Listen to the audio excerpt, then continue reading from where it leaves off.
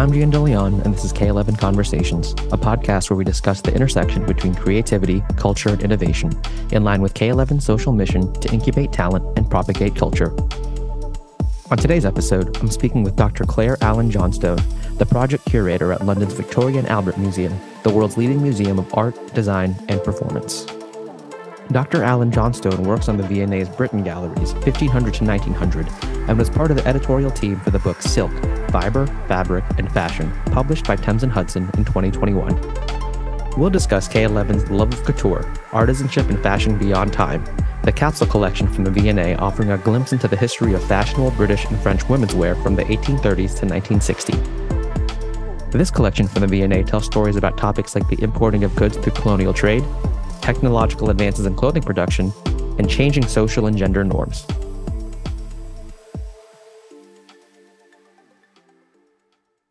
And we're here with Dr. Claire Allen Johnstone. Thanks so much for taking some time to uh, join me today. How are you?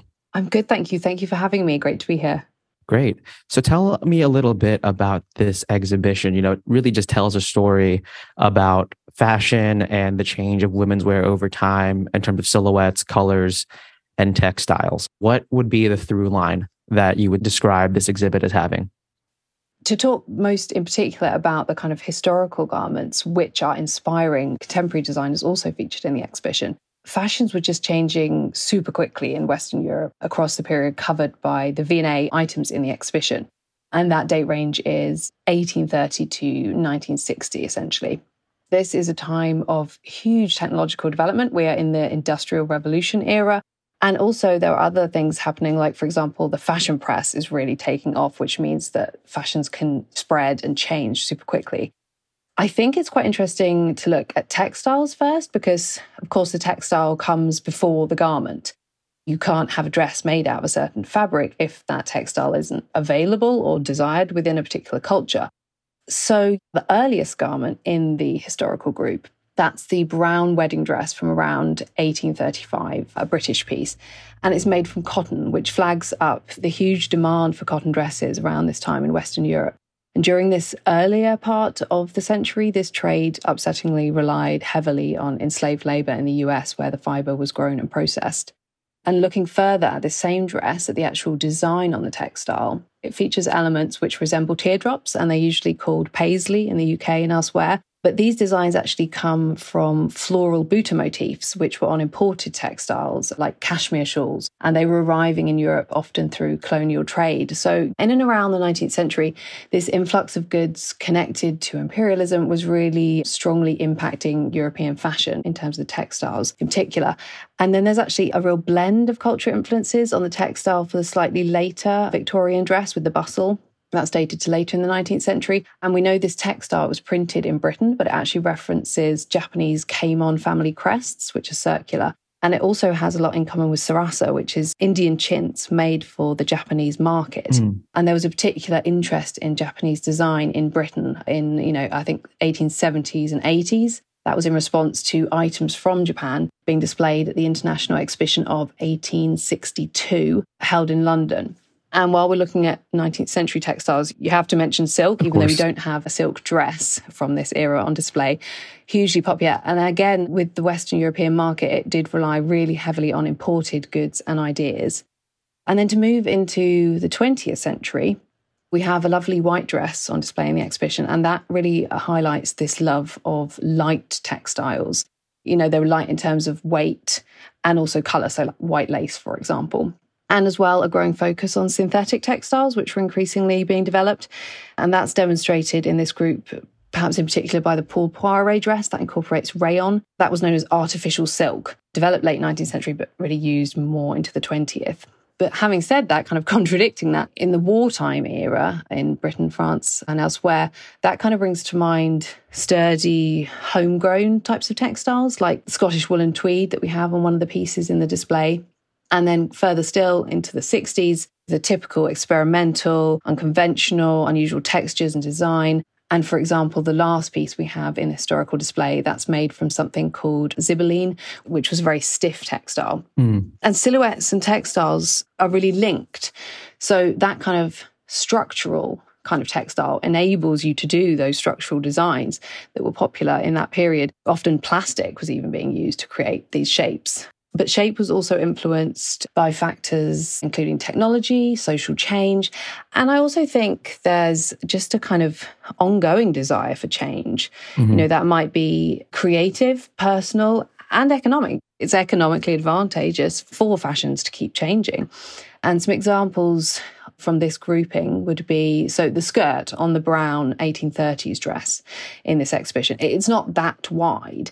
But then, in terms of technological development that changed a fashion, around the 1850s, you get these cage crinolines developed. So they're structures underneath the skirt made of kind of springy sort of steel that allowed the skirts to get really enormous around the middle of the century.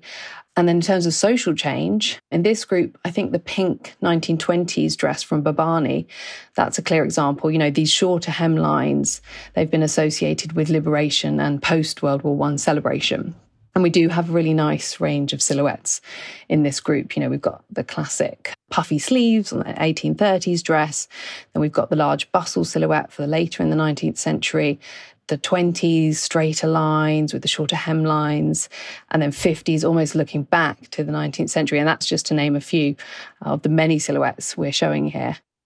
Even today, right? So much of fashion begins at the textile level. And to yes. me, that's one of the more interesting things that this exhibition tells us, right? Is the story of trends and status and desirability with textiles. And you had mentioned that 1885 day dress that emulates a Japanese kimono with family crests. And so, can you speak to the relationship and evolution of fashion in terms of where that desirability came from? Like, where did trends come from? Where was the genesis of the desirability for, you know, this Japanese influence to cotton being seen as a covetable luxury fabric, whereas today it's very accessible?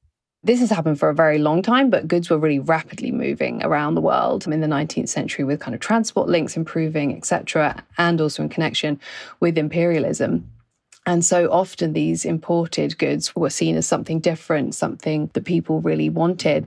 That definitely often was inspiring design uh, in Western Europe, certainly cotton, for example, was not being necessarily grown, but was being woven up often in the UK. And so there's a kind of push of, okay, we're making this textile here. Let's get it in the fashion press because that will be good for the economy. So I think partly it's visual and what people like, and it's connected to social trends, but there are definitely also connections with labor and economics and imports and all the kind of economics around it. So I think it's a real blend of social and the creative and the more economic. In addition to those factors that you just mentioned, are there any additional things that fashion specifically can tell us about a historical time period that other materials like books or records or music cannot? I think there's a very human element is often left behind with fashion. So whether that be a stitch might be out of place, perhaps sweat marks on a garment, even a rip in a skirt caused by a high heel, for example. And those really physical manifestations of people, I think that offers a real sense of closeness with everyone from makers to the wearers. And then to see the question from another direction, I actually have a background in literature as well as dress. And so I kind of like to bring these sources together. So an example would be Jane Austen novel, Pride and Prejudice. The character Lydia Bennet, she buys this bonnet and she actually decides she thinks it's quite ugly. And she says something like that she's going to pull it to pieces at home and redo the decoration. And I think that kind of detail can really bring life to the physical artifact. So, you know, if you're then looking at the bonnet from the early 19th century when this book was set, if it looks a little handmade or something's changed, you know, this kind of brings a bit of explanation to that. And then vice versa, if you're studying the novel and you can actually see it alongside a physical example, I think that also enriches it from the other direction. You know, we have a hat also in the exhibition. We do mainly have garments, but we do have gloves and a hat as well. And it's covered in decoration. It's got pins, artificial flowers, lace, etc it's always interesting with hats like that to really investigate and see does this look like it's been manipulated? Has the wearer intervened and put their own mark on something? I think fashion definitely brings its own elements, but it's also really beneficial to kind of mix sources. Of course, you know, we're talking about a time when ready to wear didn't exist, and that's what true couture is, and that's what a lot of couturiers did. So, could you walk me through that process of how someone in the 19th century in Britain would order a piece of custom made clothing? Like, how would they choose the material or the tailoring or, or the color?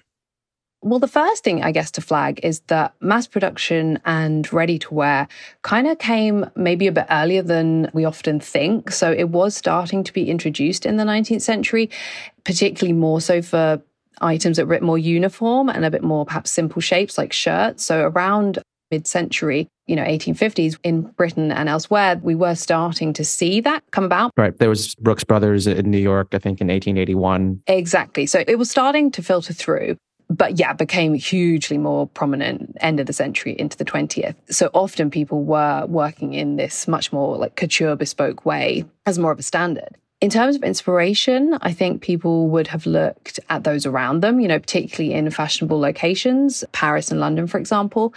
And also, I mentioned the fashion press before. Periodicals would have been a source of inspiration, you know, what we would now call fashion magazines. And there were only a handful of these at the start of the 19th century in Britain, but then thousands by the 20th century. So that sector is just hugely developing. And just as a side note, they're really helpful for dress historians like myself when it comes to dating historical dress because they can pinpoint this particular ruffle or flounce was popular this one or two year range. So we can get much more specific than a whole decade, for example. And as well, I think Victorians would have taken advice from people like dressmakers, people in the fashion industry. And then the process, you would often have purchased fabric from a shop called a draper's and then taken that material to your dressmaker. Or, as well, actually, dresses were made up at home, possibly by the wearer or someone they employed in their household. And then in the latter half of the century, in terms of couture options, when major designers like Charles Frederick Worth, the Englishman in Paris, were offering collections more like today, another option would have been to choose a design that you saw. You might have seen it modeled on a person that was starting to happen, or you might have seen it illustrated, and then you could request tweaks, like you could request it in your favorite color or a longer or a shorter sleeve, something like that. In terms of looking aside from mass production, in terms of these more couture bespoke options, there were various different ways of doing it and they kind of grew over time. Of course, as ready to wear was spreading, you know, I think a lot of people aren't aware that as far back as Elizabethan England, like secondhand shops existed, yes, and a lot of them definitely. did exist because of couturiers, and that was a way of you know making these one of a kind pieces accessible, as well as feeding that need for newness for this new class of couture customer. Can you speak to me a little bit about that? Yeah, definitely. I mean, the secondhand trade was really huge in this era that we're talking about. It doesn't always get brought up, and it is a really big factor. But something else to bear in mind is that people would be getting rid of their items if they wanted to upgrade and get something of a different silhouette. But often the pieces bought secondhand, you know, the new owner could sometimes alter them to make them more in line with the fashionable silhouette. So, you know, it was often still possible to keep up with trends. However, there were certain eras when the silhouette changed drastically, when that became a lot harder. So, say the skirt suddenly becomes a lot fuller, you can't suddenly edit the piece in the same way you could kind of reduce a sleeve, for example, if the fashion changed in that direction. So, yeah, it's a really interesting topic. Thank you for bringing it up the reason I am talking about that is because it reminds me of that Simpsons episode, right, where Marge Simpson buys a Chanel dress at a secondhand shop, and she ends up, as you said, you know, really tailoring it to different outfits depending on the fashions of the time, and it's a big plot point. But I think it also reflects the modern culture around thrift shops and secondhand. But is a nice precursor to my next question, which is about people's personal relationships with fashion mm-hmm. and how mm-hmm. they sort of change over time, the rise of mass production and ready to wear clothing. How do people view clothes differently now than they did back then when, you know, frankly, they didn't have as many clothes? Another interesting point, almost a side note before I actually answer the question, sorry about that. You know, even before mass production and ready to wear, clothing kind of wasn't always as unique as we might think. So maybe the clearest example would be paper sewing patterns. And they were widely produced from around the middle of the 19th century in Britain. So even though the clothing wasn't being mass produced and available in department stores early on, you could absolutely walk down the street and see someone with the same design because you both use the same pattern. So I just think that's really interesting. But yes, I mean, clothing being so much more readily available now, there has to be, I think, a different relationship unless you were from the very wealthiest sector of society, women had to think about practicality and about versatility in 19th century Britain and France. As an example, they would have expected to wear their wedding dress on other occasions. It wasn't often a kind of show stopping white dress that was just worn once and put away. But people often would have made a choice that they could have worn again and again. Whereas choices, I think, can be led really largely by fashion if clothing is affordable and easily available. So yeah, maybe less less stress around something like a bad stain if you know that item can be readily replaced even with the exact same thing. Of course, fashion is heavily influenced by social and cultural changes, but how does it inform society in turn? Can you think of one instance of social change that's occurred as a result of a shift in fashion? I think it is usually quite chicken or the egg in the sense of things happening in sync. But certainly, yeah, at times of great social change, there definitely tends to be an accompanying radical shift in the fashion. So, like, take the celebratory post war 1920s, the fun beaded dresses that were being worn with the shorter hemlines. And another kind of classic example, the so called swinging 60s, with fashion and society breaking away from the traditional 1950s Something else actually that I find really interesting is that these fashion revolutions, they kind of often look back in time as well as forward. So I think to show you're not satisfied with what's going on around you, you can either look kind of to the future, make something avant garde, or you can look back instead to the past. For example, there was a group of people often referred to as artistic or aesthetic dress reformers working in late 19th century Britain. And they were living really alternatively often and also trying to break away from conventional fashion as well. And they were taking inspiration from earlier periods like ancient Greece medieval England, they're two examples. So perhaps they would have created a dress that in some ways resembled a typical Victorian dress, but it was more flowing, made of a pale fabric, kind of really resembled something like an ancient Greek chiton that would have been worn, you know, centuries earlier. So yeah, I think this is a really, really interesting topic and really such strong connections between social change and fashion. So do you think it's our relationship to fashion that determines its value, or do you think that there's an inherent objective value in fashion? I would say both, really. You know, looking at the amazing designs, the intricate handiwork on show in the K11 Love of Couture exhibition, I think it's hard to argue against the concept of fashion as art. Take the heavily embellished YSL for Dior dress, the 1960s one from the V&A and also the Miss Sohee response by Sohee Park, the gown with the lovely sequin butterflies applied on the bodice, I think really exemplify that idea. But at the same time, you know, designers, I do think they've tended to be designing with the wearer in mind. And those of us more in the business of putting dresses on mannequins and putting some text next to them, I think it's good to keep that in mind. And from the museum's point of view, the stories about how a piece was chosen, how it was worn, etc., that really enriches the picture. And I do think there's an increasing focus these days on these human stories behind fashion, from designers and makers to the wearers and the later owners. And these stories, they can be uplifting, but also problematic. And that's something we felt it was important to bring out in the exhibition text, which acknowledges issues like labor conditions and ties to colonialism. So, yeah, going back to this term value, I think while pieces of dress history and contemporary design are completely valuable, I think it's also good to flag that, you know, it's not always a straightforward or entirely positive story. There's complexities woven into the textiles and the garments. Is there a specific moment in fashion history that deeply impacted you? Judging from your work, specifically in the Victorian era and the British New Woman, I'm thinking it's somewhere along those lines. yeah, that's a good guess. And there are many as well. Being so lucky to work at the V&A, you're kind of constantly seeing amazing and interesting things. Going back as a girl, I remember being really obsessed with the 1960s. Maybe the color, the fun, and the revolutionary aspect all appealed. But yes, more recently, it was my doctorate focusing a lot on Victorian dress reform that got me really interested in dress history and dresses connections with topics like gender, feminism, socialism. To elaborate a bit more on that, this reform movement, it had two branches. There was one that was usually referred to as the rational dress movement, and that was very closely connected to the feminism of the day in the 1890s. And there was a particular interest in trousers, cycling, things like that. And then the other branch was the artistic or aesthetic dress reform movement. And there were really strong ties there, sometimes idealized ties because the clothing wasn't actually always very accessible to socialism.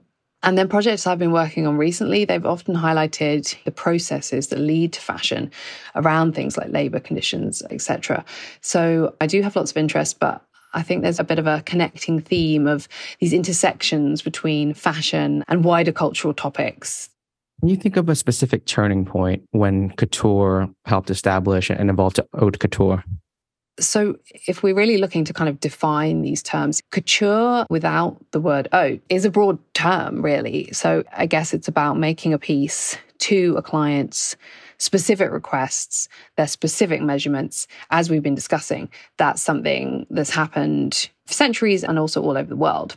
And then, speaking very strictly, haute couture, that refers to clothing made by French couture houses under guidelines set down by an institution which has actually had various names, but it's often called the Chambre Syndicale de la Haute Couture. And it was founded in the 1860s. But it wasn't then until the 1940s, so, you know, nearly 100 years later, that the specifications for what that group of people deemed couture to be were officially, publicly outlined. So it's from that day onwards that it becomes easier to really define what falls under the official couture banner. And as an example of a specification, you needed to have one or more fittings with private clients. So I guess it was emphasizing that one on one relationship between the designer and the client. One of my favorite films depicts a British haute couturier, Phantom Thread, with Daniel Day Lewis. Fascinating. And so I'm just wondering about the historical accuracy of him running an haute couturier in Britain as a historian, if there was anything you noticed they got specifically right or they got inaccurate it was before my time, but I think there were some connections. I think research was very much being done by those involved in the production, possibly even with the V&A. Like I say, it was from before my time, but I do get the feeling really a lot of research went into that film. It had a lovely focus on the dressmakers as well as the designer. If memory serves me correctly, I think it was a really strikingly accurate depiction. Why do you think people are still drawn to couture and the idea of haute couture as well? It's probably different for different people, often maybe a mixture of factors. I think some people, there's a close relationship with a particular designer, and maybe they feel that their visions sort of come together to create something expressive of both personalities. So we have in the exhibition, there's a yellow Charles James dress and it was worn by the artist Marit Guinness Aschan when she was a young woman. And she would actually go on to be a long term supporter of this designer. So often there is this kind of ongoing personal relationship.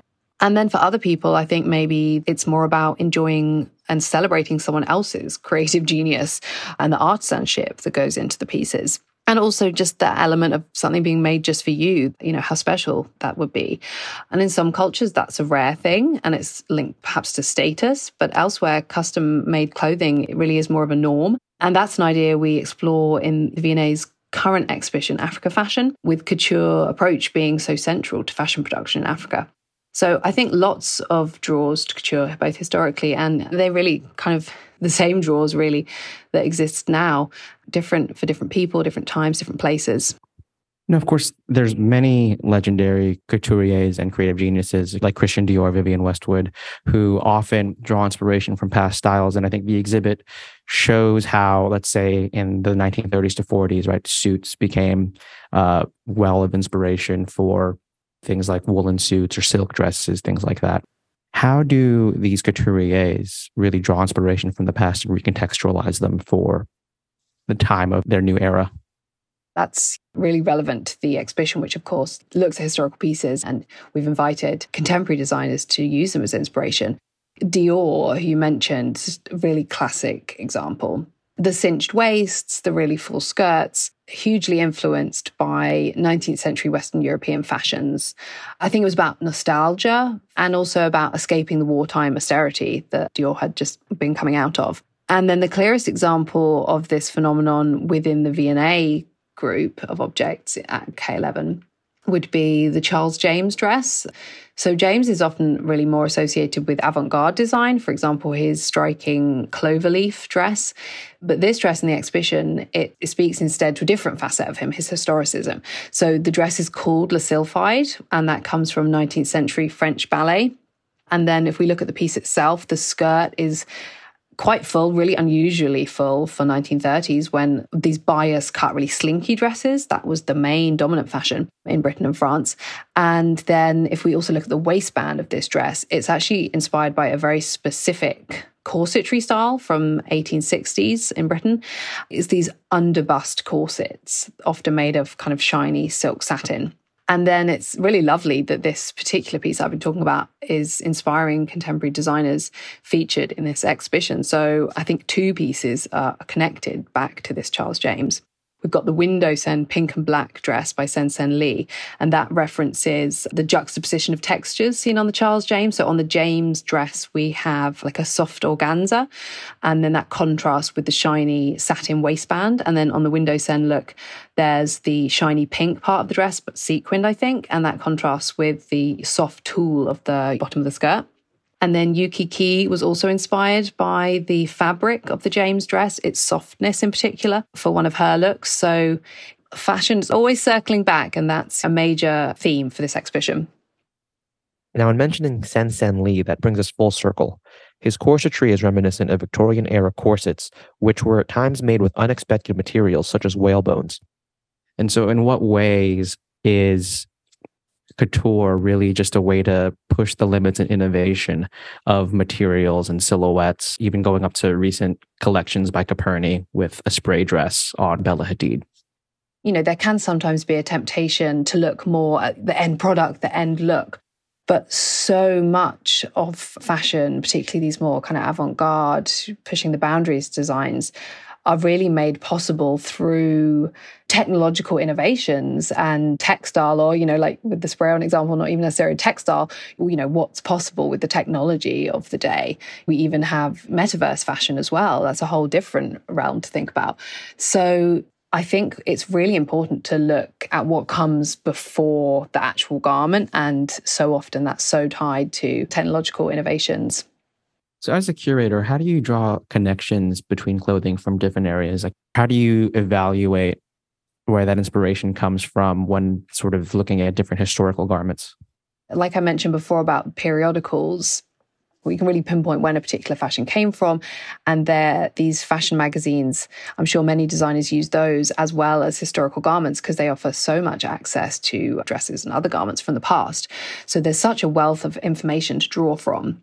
And then when it does come to drawing inspiration from the past, I think it's most successful really when the past is given a modern twist unique to that designer. I do think inspiration and originality can go hand in hand. Like one example that comes to mind from the display we're talking about today is a Yueqi Qi design, which references, I believe it's the Digby Morton suit dress, got lots of tailoring, but then it also has safety pins. And that's a reference to Yueqi Qi's husband, who's in the world of rock music. So that's a nice example of drawing inspiration from the past, but bringing in something more modern and, you know, very personal to that particular designer. And one thing you had mentioned that I had been meaning to ask about is the fashion press. And when was that established and how did it change the status symbols sort of which couturiers were elevated and how people were informed about fashion and really consumed it not necessarily from a transactional way but from a knowledgeable way so I can speak more specifically to the British market of magazines. That's what I know more about. So my impression is that the magazines really started to emerge around the beginning of the 19th century, didn't really exist much before that. And there were just a handful initially, and they would have been not hugely accessible, elaborate plates with the designs. This wouldn't have been accessible to everyone. And then again, technology coming in again, you know, as the printing press develops, as the transport links develop, it becomes easier and cheaper to make more of these magazines. Also, literacy rates are going up. So magazines in general are being more widely purchased and read. The market for magazines really takes off throughout the 19th century. And then there are hundreds, thousands by the 20th century. And I think designers' relationship with it kind of varied and maybe changed over the period. You know, I have heard of designers who didn't want to feature very much in these papers. They wanted to be so exclusive that you had to go and visit that couturier whereas other people were, you know, a bit savvy to the marketing and thought this was a great idea. So I think attitudes changed in the modern perspective. I don't think people would be thinking, oh, I wouldn't want to be featured in a wonderful fashion magazine. But, you know, certainly some people held that view at the time. So it's really the time when that is all getting developed and views around it are all changing and they're becoming more accessible to a wider market. Lastly, are there any historical or vintage styles that you hope to see revived? Is there anything you hope to see more of in the future of fashion? Sustainability needs to be a central focus going forwards, as the industry is increasingly becoming aware of and actually looking to the past, which was often unintentionally more sustainable, can be really useful for that. So, if we're thinking about slower production before mass production was possible, and use of natural fibers before synthetic ones had been developed, that took off more in the early 20th century. We can kind of take inspiration from this sort of unintentional sustainability of aspects of the past and I think it's great that the contemporary designers featured in the Love of Couture exhibition have this in mind. So I know there's a real sense of valuing the slow pace of couture and making decisions like Tomo Koizumi, for example, uses mostly dead stock fabric. So taking something that might have gone unused and giving it a new life. So I'm not alone in, of course, thinking that this is something really crucial and that we can look to the past for inspiration. Well, thank you so much, Dr. Claire Allen Johnstone, for taking some time. This has been great. Thank you so much. It's been wonderful to chat to you. K11 Konversations is produced by Sonia Manalili and hosted by me, Jian DeLeon. Special thanks to our guest, Dr. Claire Allen Johnstone. Stay tuned for future episodes.